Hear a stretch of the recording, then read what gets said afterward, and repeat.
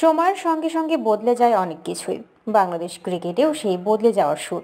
একসময় যারা ছিলেন বাংলাদেশ দলের নিয়মিত মুখ, যাদের ছাড়া বাংলাদেশ দল কল্পনায় করা যেত না, সেই সাকিব তামিম দলে নেই।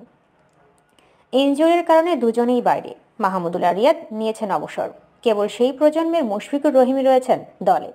সুতরাং টেস্টে বাংলাদেশ দলটাকে নতুন বললে অতুক্তি হবে না মোটেও। সৌম্য নেই, লিটন নেই নেই মিঠুনও। এমনকি বোলিংয়ে পেসার তাস্কিনও নেই। নতুন দল নয় তো কি?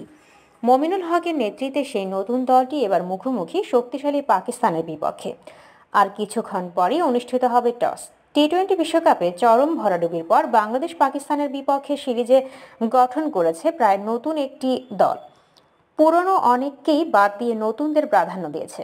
টেস্ট সিরিজে নানা ঘটনাচক্রে নতুনদের উপরই ভরসা করতে হচ্ছে। সেই ধারাবাহিকতায় আজ পাকিস্তানের বিপক্ষে প্রথম টেস্টে অভিষেক হয়েছে ইয়াসির আলী রাব্বির। ওপেনিংয়ে সাদমান ইসলামের সঙ্গে দেখা যেতে পারে জয়কে মমিনুল তিনে, মুশফিক চারে।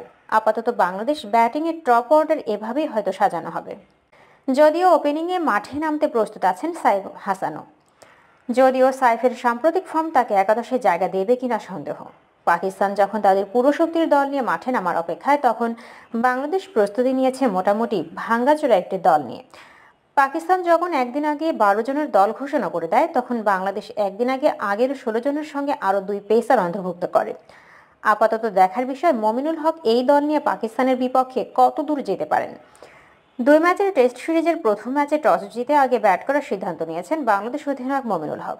অভিষেক হয়েছে ইয়াসির আলী রাব্বির বাংলাদেশের একাদশ।